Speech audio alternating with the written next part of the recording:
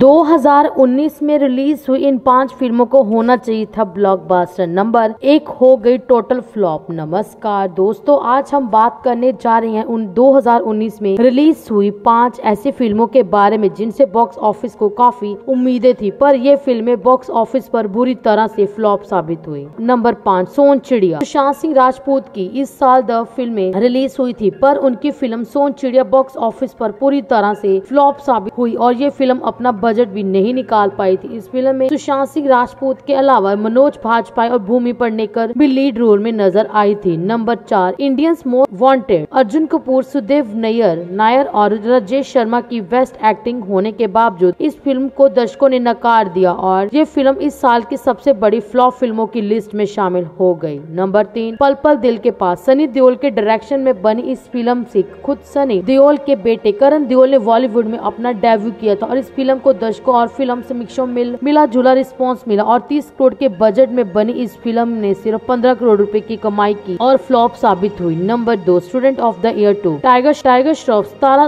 तारा सुतारी और अनन्या पांडे स्टारर ये film student of the year का स्वीकल थी और ये फिल्म दर्शकों की उम्मीदों पर खरी नहीं उतर पाई और ये फिल्म बॉक्स ऑफिस पर सिर्फ अपना बजट ही वसूल कर पाई और इस फिल्म को दर्शकों से भी बहुत अच्छा रिस्पॉन्स नहीं मिला और ये भी film box office super superhit साबित साबित नहीं हो पाई नंबर एक साहो इस साल रिलीज हुई ये फिल्म इस साल की सबसे बड़ी फिल्मों में से एक थी और इस फिल्म ने बॉक्स ऑफिस पर ब्लॉकबस्टर शुरुआत की थी पर इस फिल्म को समीक्षकों के द्वारा खराब रेटिंग और दर्शकों को ये फिल्म बिल्कुल भी पसंद नहीं आई और ये फिल्म बॉक्स ऑफिस पर टोटल फ्लॉप साबित हो गई पर यह फिल्म हिंदी में हिट साबित हुई पर यह फिल्म दूसरी भाषाओं में बुरी तरह से फ्लॉप साबित हुई और ये फिल्म ऑल इंडिया में फ्लॉप साबित हो गई है